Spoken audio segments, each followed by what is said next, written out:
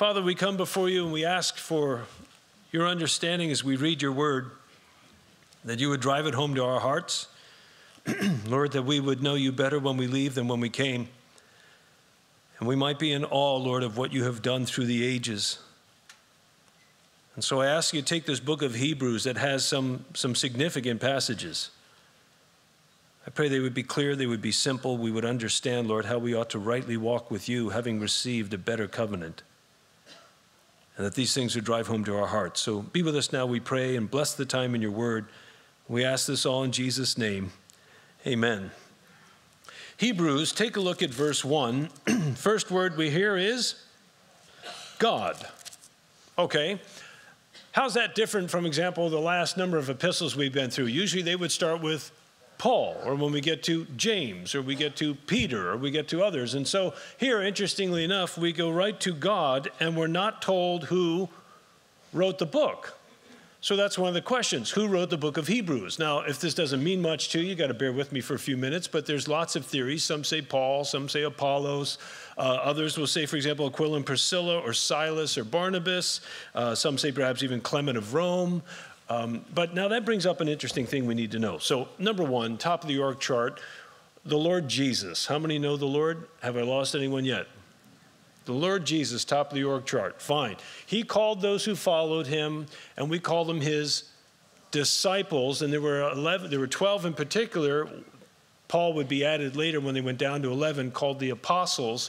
And so you have Jesus, and then you have the apostles and the disciples, and that includes the 11 plus Paul, plus, for example, Aquila and Priscilla, plus Apollos, plus those 120 from the upper room, plus those 500 who saw him risen at one point from the dead. You've got this band of people who are direct eyewitnesses to the ministry and teachings of Jesus. Is everybody still with me? That half is. Is everybody still with me? That half is kind of with me. Fine. Jesus, then we have this band, okay? Then we have those who were evangelized by those eyewitnesses.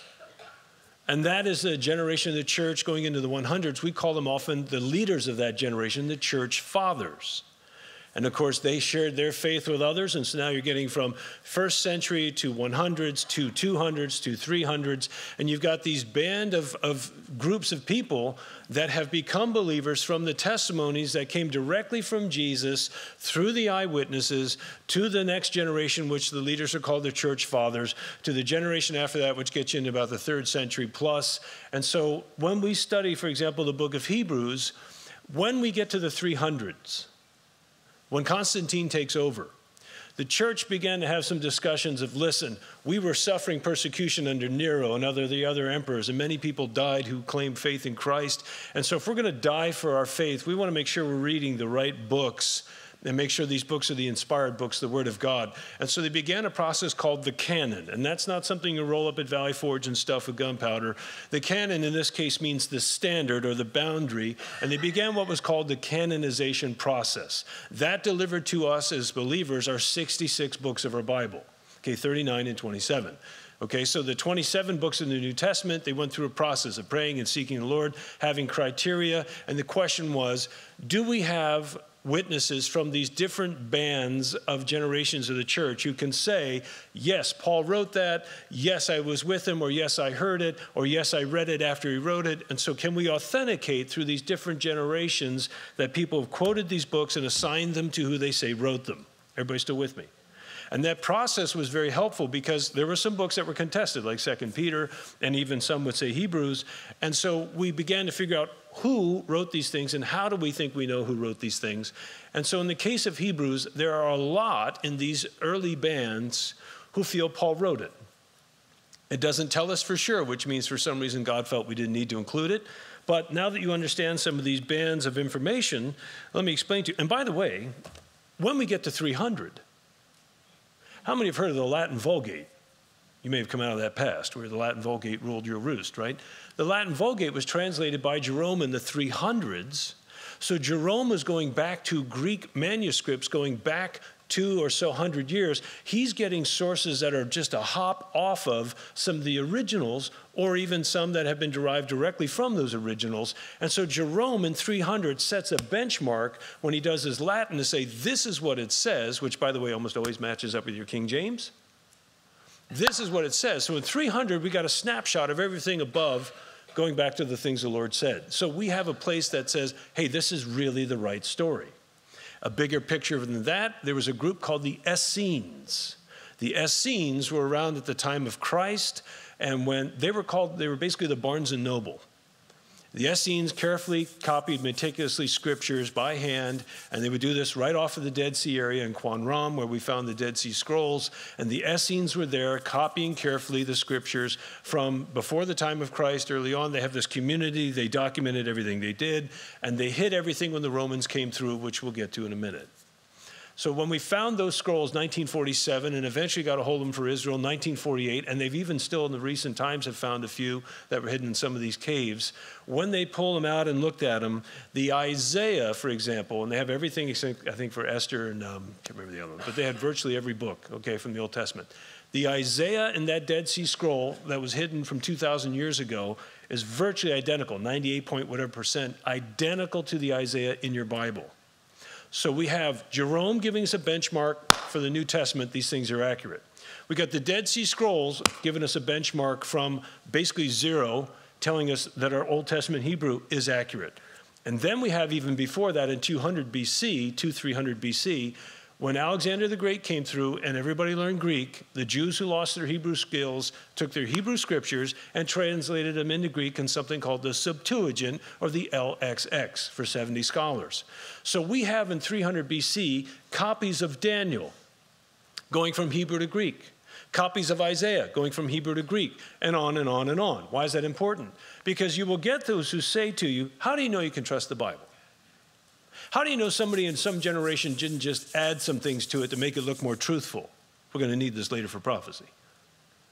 Here's how we know because we have stamp after stamp after stamp of these things going from Hebrew to Greek, from Hebrew, Greek into Latin, etc., etc., and they're virtually the same. And by the way, in the New Testament, we have some 5,366, at least at the time of the one source I have, pieces, fragments, scrolls, and books. In other words, we are swimming in textual evidence that is all pretty much in agreement. Sometimes a paragraph is missing, sometimes a city is misspelled, sometimes a name is slightly different, things you expect when you hand copy, but nothing significant to change the core message of this word. So I say this to you because even though we don't know the author of Hebrews, we have extremely good historical authority to say the early church was aware of this book. They clearly felt it was from God. Here are the opinions as to who they think wrote it, and you can see it quoted over and over and over again, as well as all the other epistles. Is everybody still with me? The half. The bottom line is your Bible has incredible evidence, supernatural in a sense, because think about it. Till you get to the printing press, it's all hand copied. And they're virtually identical to what you have in your lap which means God has preserved his word. So, number one, Hebrews included in the Old Testament canon because it was found in a number of writings. And to give you a sum up here, these are the folks who believe Paul wrote it Clement of Alexandria, 95 AD, first band coming off the apostles. Uh, Palantius or Pantius, 180 AD. He was a school teacher in Alexandria, Egypt, a center of learning. He felt Paul wrote it. Origen, also in Alexandria, felt that Paul wrote it, but said some wouldn't receive that Paul wrote it. There was already an argument then. Justin Martyr in 140 AD, he said Paul wrote it, quoted from it. Jacob, bishop of Nisibis in 325, repeatedly quotes it as a production of an apostle. It's the word of God. Ephraim Syrus, who uh, ascribed it to Paul.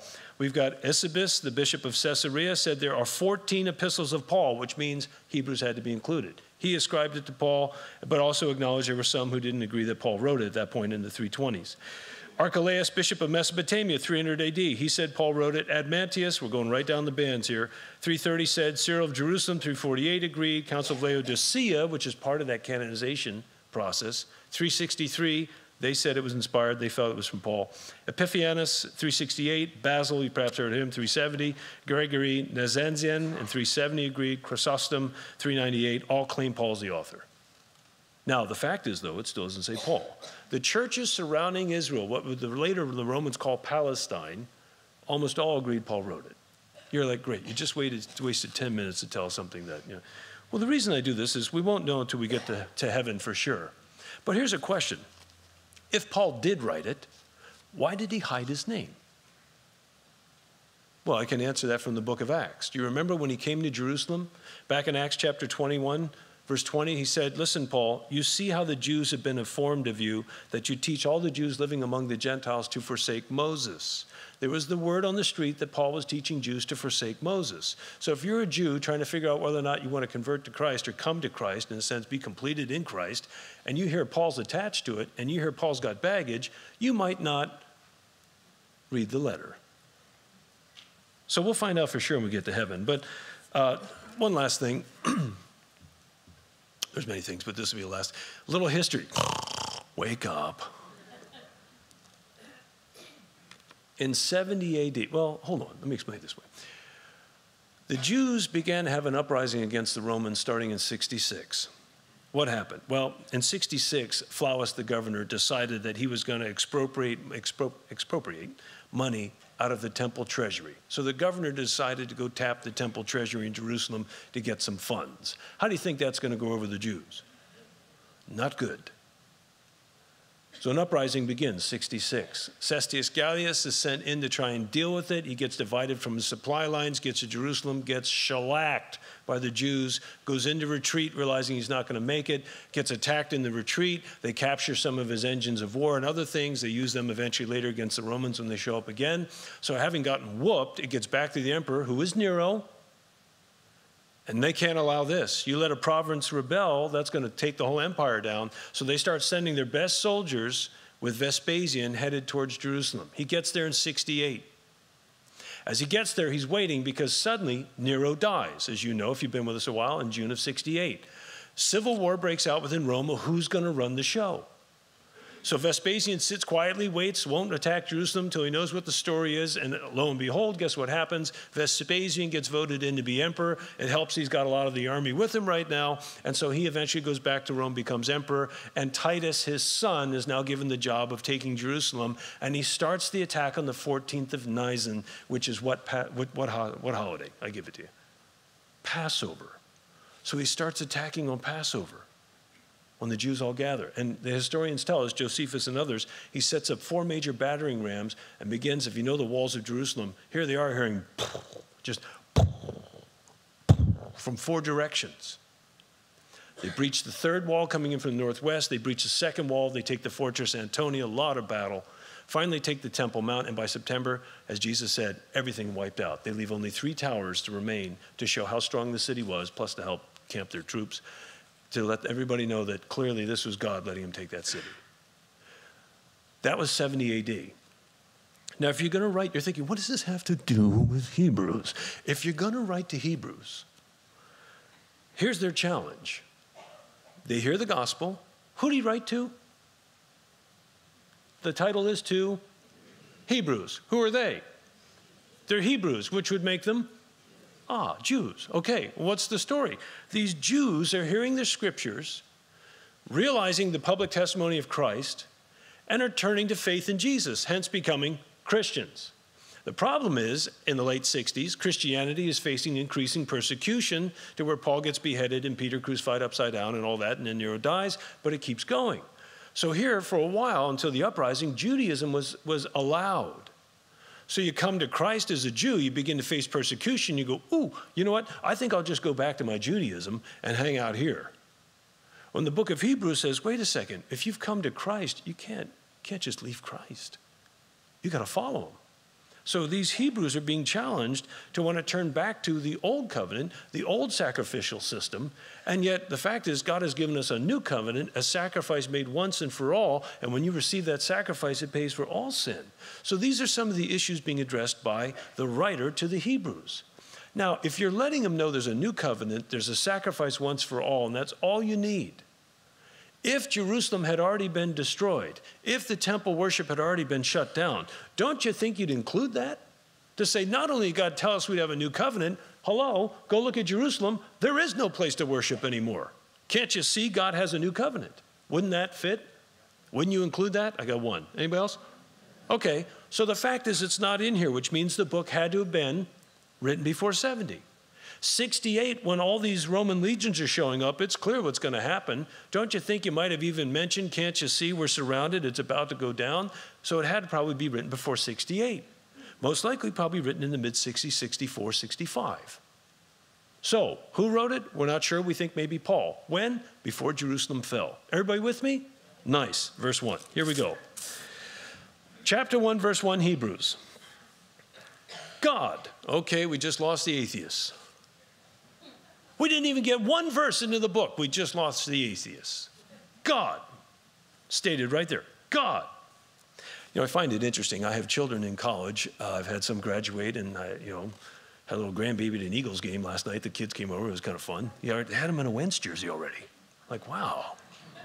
Wow, these guys are hard. We just put them in whatever. But, and, uh, but I learned lots of things from them. I've had some of my kids in, in honors programs and graduate extremely high in those programs and all that. And, and they encounter the atheists. See? what I find interesting is, is the atheists call themselves the free thinkers. Now, if you're a free thinker, why are you afraid of the first word of verse 1? God. They would argue the other way and say, You Christians are so afraid to think of a world without God that oh, you can't handle the reality that there might not be a God. So we refuse to acknowledge God. We're atheists. We don't think He exists at all. We're free thinkers, but you people think there might be a God. You're not free. Wait a second. We lived a life before we met God. We know what it's like to try and run your own show. We know what it's like to behave in ungodly fashions. We know what it's like to be in a world without hope, without knowing where you're from, why are you here, or where you're going, or having been adopted into God's family. We're not afraid to think of that. We've been there, lived it, and have learned the truth. So we're not afraid to think. We know there's a world coming when God's going to remove his presence and he's going to send them a strong delusion. We're about to tip into that on Wednesday nights in Isaiah. So not only are we not afraid to think those things, we're free to think them. We know what it means and what the ramifications are. And having understood these things, we've come to Christ. We're free, you're not. But anyway, back to verse 1 God. The atheists have already tuned out, they didn't hear that. God, who at sundry times and in diverse manners spake in time past unto the fathers. Aha, the fathers, Israel's heritage, by the prophets. So, one, God exists. Two, he has revealed himself over time to man. How? By speaking to the fathers through the prophets. Prophets. Very important. Back to how do you know you have the right book? Well, number one, we have just fantastic evidence of the integrity of the scripture and it's being copied over the millennia. And the fact that it is what it is. And we can look at it again 2,000 years ago, 2,300 years ago. We can go benchmark, benchmark, benchmark, benchmark. It is what it is. But not only do we have faithful reproduction of this record, but it is unique to any other record out there. Turn to Isaiah 45. Within this record that has been faithfully copied are some challenges proving it is indeed true. So within itself, it says it is true. Well, anything can say it's true. It not only says it's true, it says here, here is how we're going to prove it's true. So you pick up in Isaiah 45. God says to Israel, the northern kingdom and the southern kingdom, which have slipped into idolatry. He begins to call them out on it. He says in verse 20, Isaiah 45, Assemble yourselves and come, draw ye near Ye that are escaped of the nations that have no knowledge, they, the nations, have no knowledge, that set up the wood of their graven images, their idols, and they pray unto a God that cannot save. Tell ye and bring them near, yea, let them take counsel together. Let their idols come and tell you, Who hath declared this from the ancient time? Who hath from that time, hath told it from that time? Have not I the Lord? There is no God else beside me, a just God and a Savior. There is none beside me. Look unto me and be ye saved, all the ends of the earth, for I am God and there is none else. Now, how's he going to prove that? Hang on. I have sworn by myself, the word has gone out of my mouth in righteousness, uh, and it shall not return, that unto me every knee shall bow, every tongue shall swear. Look at chapter 46, verse 5. Excuse me. To whom Will you liken me and make me equal and compare me that we may be alike? They, in the process of making their idols, lavish gold and silver. They hire a goldsmith, they create these things, and they fall down and they carry around their God on their shoulder and they put him in a place and they cry out to him and he can't answer. Verse 9, he says this Remember the former things of old, for I am God, here he goes again, and there is none else. I am God, there is none like me. How will we know? Next verse. I will declare the end from the beginning. From the ancient times, the things that are not yet done, saying, My counsel shall stand, and I will do all my pleasure. Interesting. And in verse chapter 48, verse 3 says, I have declared the former things from the beginning they went forth out of my mouth. I showed them. I did them suddenly, and they came to pass. So prophecy is how God authenticates He is the only and true God. And you know, therefore, the communication you're getting from Him is accurate. So not only is it faithfully copied, but it is supernaturally telling us what's going to happen. Dave Hunt has a book out there called A Woman Rides the Beast, and I want to read to you from chapter 2, just a little section on prophecy. He said this. It's page 19 if you're trying to find it later. About 30% of the Bible is devoted to prophecy, foretelling the future from the past, which God said only He can do. That fact validates the importance of what has become a neglected subject. In marked contrast, prophecy is completely absent from, let me say it again. Prophecy is completely absent from the Quran, the Hindu Vedas, the Bhagavad Gita, the Ramayana, Ramayana, the sayings of Buddha or Confucius, the Book of Mormon, or any other writings of the world's religions. They don't have it. This fact alone provides an undeniable stamp of divine approval upon the Judeo Christian faith, which all other faiths lack. The Bible's prophecies' unblemished record of fulfillment is sufficient to authenticate the Bible in distinction to all other writings as the one and only inerrant Word of God. He goes on, just as prophecy is unique to the Bible, so it is unique to the Messiah or Christ. No prophecies foretold the coming of Buddha, Muhammad, Zoroaster, Confucius, Joseph Smith, Mary Baker Eddy, or the current popular Hindu gurus who invaded the West, or any other religious leader, all of whom lack the credentials which distinguish Jesus Christ. Yet, there are more than 300 Old Testament prophecies which identifies Israel's Messiah. 300 plus. Centuries before his coming, and we have him copied into Greek in 300, and we have them faithfully reproduced from time of Christ all the way until we found them in 1947. We not only have them, we know they're accurate. Centuries before his coming, the Hebrew prophets set forth numerous and specific criteria which had to be met by the Messiah. The fulfillment of these prophecies in minute detail in the life, death, and resurrection of Jesus of Nazareth demonstrates indisputably that he is the promised one, the true and the only Savior. Okay, so now let's get moving in Hebrews. Yes, please do. Okay, let's go. God, number one, He exists, who at sundry times and in diverse manners spake. Number two, He's revealed Himself, and within His revelation, He gave tests to prove its authenticity. God at sundry times and in diverse manners spake in time past unto the fathers by the prophets. Verse 2 at last. Hath in these last days, wait a second, if the 60s, and I don't mean 60s, I mean 60s, not 19, I mean 60. If the 60s were the last days, or the beginning of the last things, where are we now? In these last, the word is eskos or skatos in the Greek, from which we get the study of eschatology. Last is eschatos. Eschatology is the study of the last days. So just call it that so you don't lose everybody. Hath in these last days spoken unto us by his Son. Interesting. These last days, an appointed time, he spoke to us by his Son. Now, Charity, if you would, I want to show you guys again a couple of slides. Oh no, more history. No, no, even better, geography. Well, that's going to really put us out. okay, you're looking at roughly a larger Middle Eastern picture Russia down to Saudi Arabia, Mongolia. This red line here going east is the, how many have heard of the spike, spice or silk route?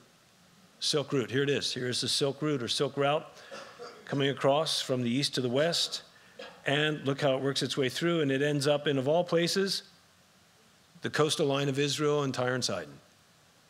Because here they can get it out to sea in the Mediterranean and head even further west. So you've got the silk and the spice routes going this way as well as down here. You've got trade lines going down into Africa, right? Northern Africa. By the way, the Ethiopian eunuch would run down this way eventually and go home. You've got these routes going up through Turkey, through the Caucasus Mountains. Perhaps you've heard of them in the last 20 years. And you head east, or sorry, head west, and you eventually all the way into England. So you've got all these trade routes. Let me expand on it. Here you have, again, these red lines are harder to see, but here's again the Silk Route, Spice Route coming in, and they would come through the Middle East, depending on which attack they would take, go over or go under, because you avoid the Arabian Desert. And you get eventually again to this area here in Israel.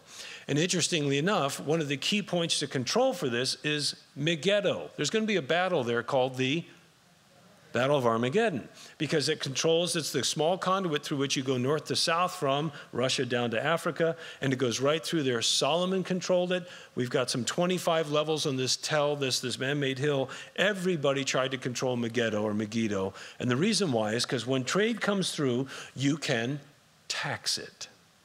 You thought that was new. So these guys come rolling through, and you say, you know, hey, you know, it'd be real shame somebody like, you know, breaks the legs of your camels. We'll give you five shekels protection money. You thought that was new. It's been going on forever. So not only do you get, quote, protection, but you also get taxed, or the protection is the tax. So you control this area. You've got the north south trade, and you've got the silk spice route trying to come in, hit the sea, or go over to, again, Western Europe, and you go all the way to England. Now, this fullness of times, the Babylonians got rolling, you know about them. Then, according to Daniel's prophecy, which was fulfilled in the 300s, the Greeks, the Medo Persians came in first, sorry, after Babylon, 539, 300. Then you've got after them, the Medo Persians decided to try and go and attack Greece. That didn't go well. The Greeks were pretty steamed about it, and eventually a guy named Alexander, who some call great, shows up, shellacks the Medo Persians, and by the way, goes all the way to India and spreads throughout this region the Greek language. They run from the 300s down to about 63, and there rises another empire, which again was foretold by Daniel and translated from Hebrew to Greek in 2 300 BC. They show up in 63, we call them the Romans, and they take over and eventually divide into two legs, Eastern and Western Empire. So you've got a number of things, the fullness of time. One, trade routes. And everybody likes to stop off at Israel. In particular, a great place to be refreshed is the Sea of Galilee.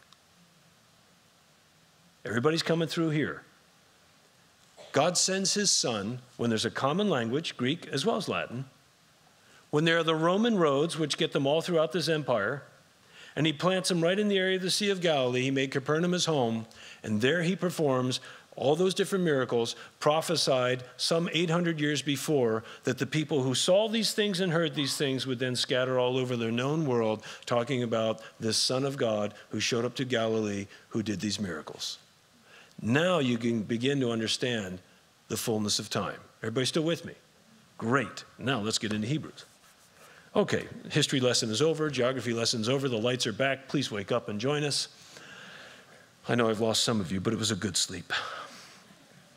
God, who at sundry times and in diverse manners spake in time past unto the fathers by the prophets, hath in these last days, when conditions were right, spoken unto us by his Son, whom he hath appointed heir of all things. Everything belongs to him. In fact, when he came, and he died, and he rose again, he redeemed this world to himself. This world, and in particular his church, we are on layaway. Now, some of you don't remember layaway, but as a kid, layaway was the way you did things. See, you buy something, they lay it away for you in a little shelf in the store. And I mean, terrible supply chain management strategy, but back in the day, it was great. And so you were basically paying until you paid it all off, and then you come get it back off of layaway. See? Well, we're on layaway. We were paid for, and we're just waiting on the shelf till the Lord comes back and says, It's mine.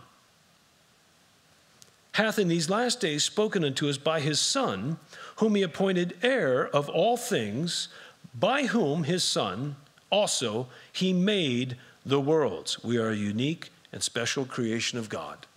And it tells us in Romans the things that are clearly made are seen by the invisible things that God has created, and people kind of laugh at that. And then we found protons and neutrons and electrons, and then our technology got even better, and then we found even subparticles that create those things. And they're not sure why is it holding together. It tells us right here. Not only did he create all things, but in him all things consist. He holds it all together. Hath in these last days spoken to us by his Son, whom he's appointed heir of all things, by whom also he made the worlds, and that's aeon or ages. It's interesting because there's also the idea of, you know, the Lord has made not only this earth, but heaven for the Jews, there are three heavens. First heaven, where the birds fly. Second heaven, space, outer, you know, outer space, stars. Third heaven, the very presence of God. He's made the world, all ages, all things. He's created everything. So he hath in these last days spoken to us by his Son whom he's appointed heir of all things, by whom also he made the worlds, who, his Son, being the brightness of his glory and the express image of his person, upholding all things, it all holds together by him, upholding all things by the word of his power, when he had by himself purged our sins, he sat down on the right hand of the majesty on high. Nice. So, number one, God. Number two, has revealed himself over time to man. Number three, in the final fullness of time, his final revelation of himself to this world is he became a man, the God man. And in that act of incarnation and taking on humanity, he would come, live sinless, die, and rise again so that he could reconcile and bring back to himself into fellowship this world that he made. And there's only one thing he asks you to do believe his word. Trust in Jesus Christ as your Savior. You don't have to know how to solve special math equations. You don't have to have the whole history timeline I gave you, but you have to be convinced in your heart not only has God sent his Son to save this world from their sins, but he gave us a record that has withstood every generation's attempt to destroy it. It's outlived them all. And the more we study, the more we dig, the more we research, the more we know is the best source you'll ever get your hands on. So the question is do you believe him? Fine. So he has spoken to us through his son. What did he say? We're out of time. We'll pick it up here next week. You only got two verses. Well, it's better than one. Let's stand, let's pray. Father, how we thank you for your word. And Lord, may that hopefully help us to trust you. You know the end from the beginning. David, as well as other scriptures, say, You know every hair on our head, you know our thoughts before we speak them. You know the number of our days. There is nothing that surprises you. And so, Lord, how I pray for anyone here today that is listening. Maybe some of the free thinkers came back for the end. But how I pray, Lord, that they might finally understand not only have you spoken to this world, but you have spoken in such a way that we can have full assurance it is you. You are the only true God. And as you said in Isaiah, if anyone would look unto you, they will be saved. Thank you for these things, Lord. Strengthen our faith and help us to be excited when people ask us the reason for the hope that's in us, because we've met the true and living God. Thank you for these things, Lord. Go with your people this week in Jesus' name.